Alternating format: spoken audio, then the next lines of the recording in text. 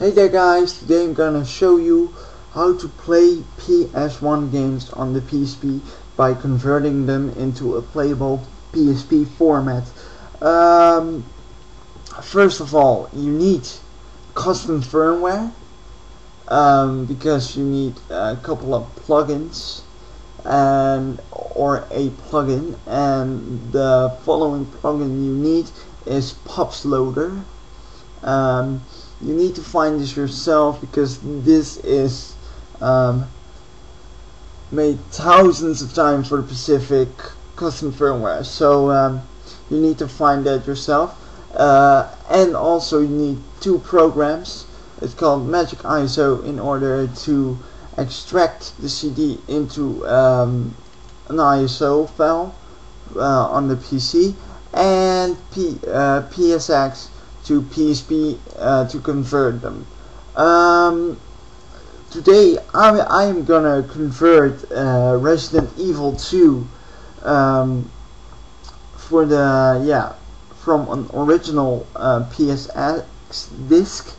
Um, the disc is right next to me. Uh, but first, um, there was a famous crash um, at the police station. So here's my uh, PSP screen. To show you that this is my PSP screen, I'm gonna press the home button. Ta-da! There's a home. Um, wait up! Oh, wait up! Wait up! Uh, yeah, there it comes.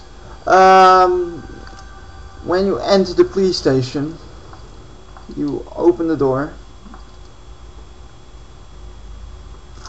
and the door opens and you hear the music but then there's a black screen. This is uh, this uh, I'm gonna show you also today. So uh, let's just end this game. Hoping that my uh, RemoteJoyLite doesn't crash. Yes. Alright so um, yeah when we have done that um, first you need a program to extract the um, official uh, yeah game from a CD to in, into an ISO I already done that.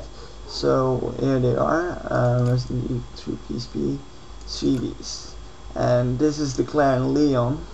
So we opened um, the the PSX to PSP and just click here and there are five things you can select here. This is for multi-disc like Final Fantasy VII if you need to change um, the discs in-game before you can save.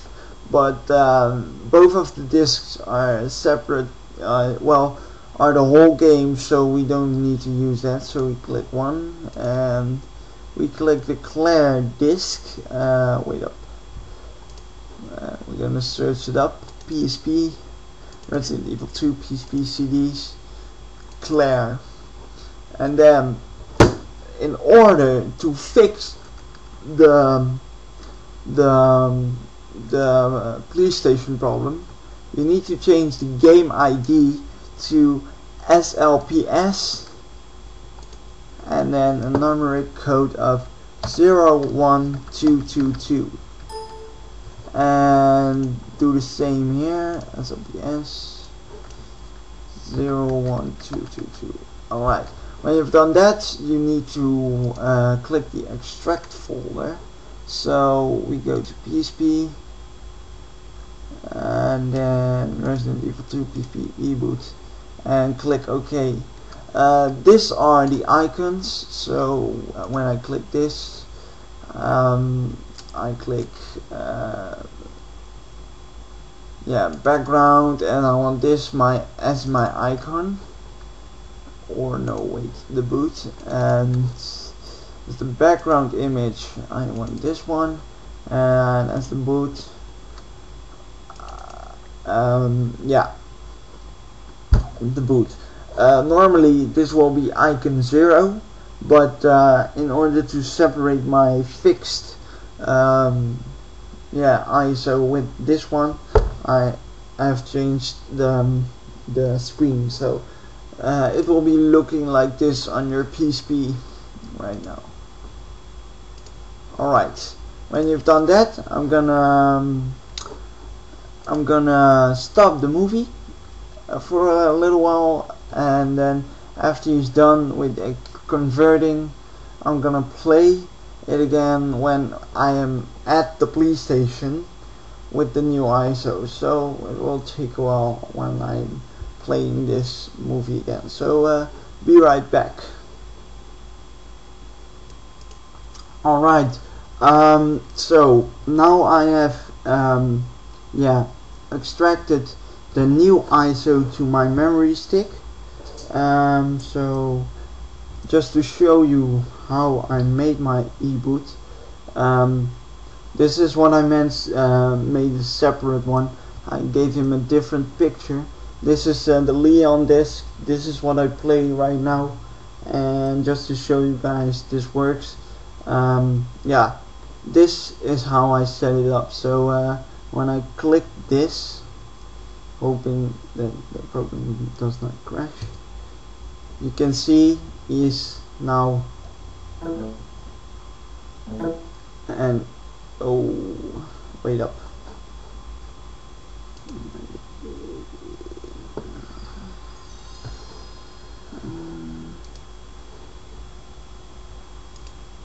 Yeah, sorry for the crash. This uh, program crashes a lot when it's trying to switch uh, between the...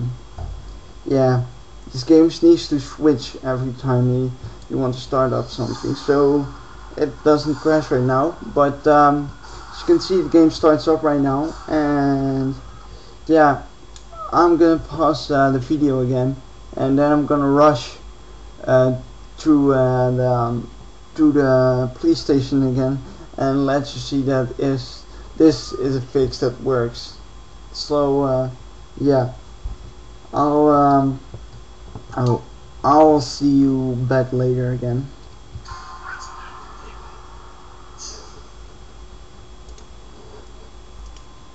Hey there guys, so now uh, I've rushed to the police station again and uh, watch what happens when I enter the police station right now.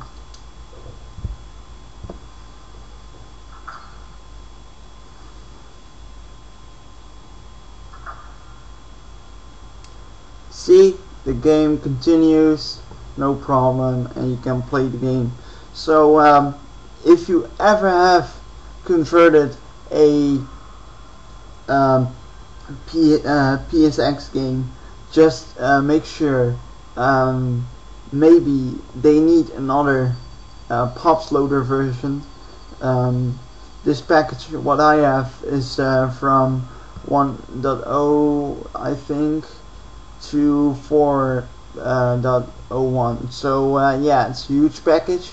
And if that doesn't help uh, yeah just uh, search for a website where they show the latest game IDs because game IDs change. And um, yeah just fill in the latest game ID for your game and maybe, maybe, maybe it works. And otherwise if it then doesn't work then yeah then it's just a game that doesn't work uh, with the latest pops loader or uh, yeah the game IDs but mostly when you change the game IDs to the latest game ID that was shown on a website then uh, mostly it works. So uh, yeah I hope this um, this helped you.